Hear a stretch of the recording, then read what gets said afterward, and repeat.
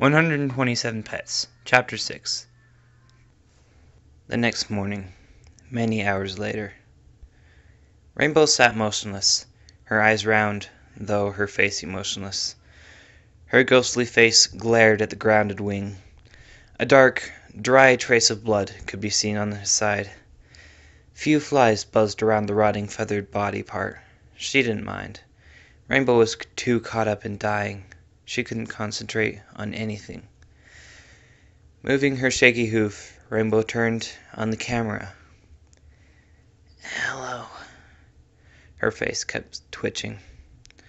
Time is moving really slowly, and my heart is going really fast. I swear, it's like it's like it's beating like three times as fast as it should be. Rainbow's breathing became ragged. She kept shaking like ants were crawling up her body. The hot sun beamed down. Her thought became lighter. She remembered all the video diaries. Rainbow imagined her friends finding her, though those thoughts quickly vanished once she came back to reality. Rainbow looked behind her, seeing all of her five friends looking at her. They each wore warm smiles. Rainbow too smiled, showing her yellow teeth. hey, girls, how's it going?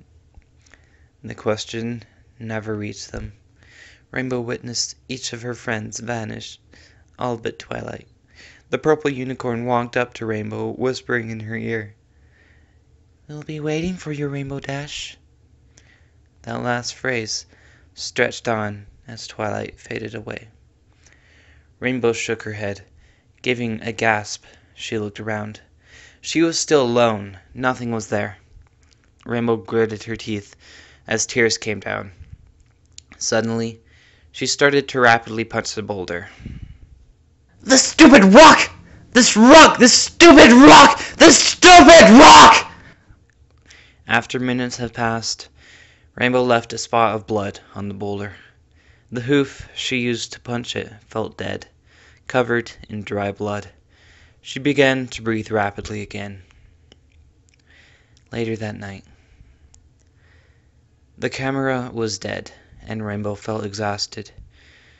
She finally decided to take a rest. Tomorrow would be the day she died. She was out of water and food. Her knife wasn't much use. She was done.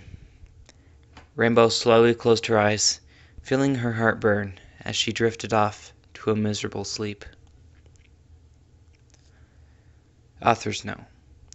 Yes, I know, short chapter, but this is all a build-up for the next one. We'll see what happens to Rainbow. Some of you might be pissed, or maybe you saw it coming. See you next chapter.